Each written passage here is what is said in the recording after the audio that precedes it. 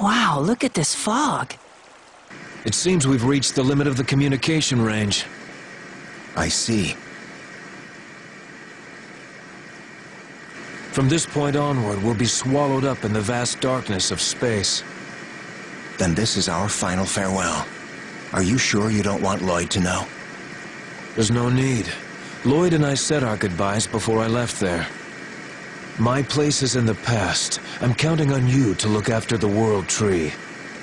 Of course. Um,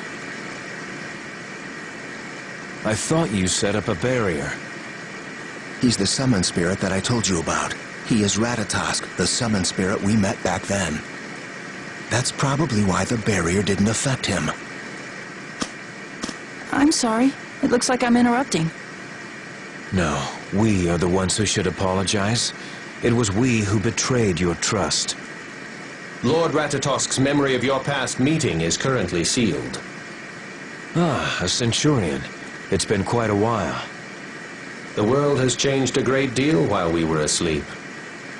Indeed it has. But Lloyd and his friends seem to have straightened out all the problems we left behind. Who are you? I am Kratos Aurion. I travel with Derris-Kharlan into the depths. Kratos is an old companion of mine. I've kept him informed of what's transpired on this world since he left. And in turn, he's done the same for me regarding our companions who've moved to Derris-Kharlan. Please do not mention anything about him to Lloyd or the others. In any case, this is the last contact he has with this world. Yes. I hear you and Lloyd are traveling together. Yes, he's helped me a lot. Please look after Lloyd and all of his friends. Yes. We're about to lose our communication link. I'm afraid I must say goodbye.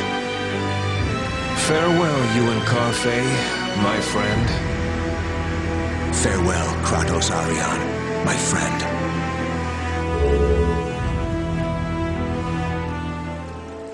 Um, what's Derris-Kharlan? It's the name of a world very far away from ours. They say it is the native land of the summoned spirits and elves. Right now, they're roaming the universe, looking for somewhere they can live in peace. So Kratos is on Derris-Kharlan? Yes, I'm not sure I totally understand, but I hope they find a place to live in peace. I do as well.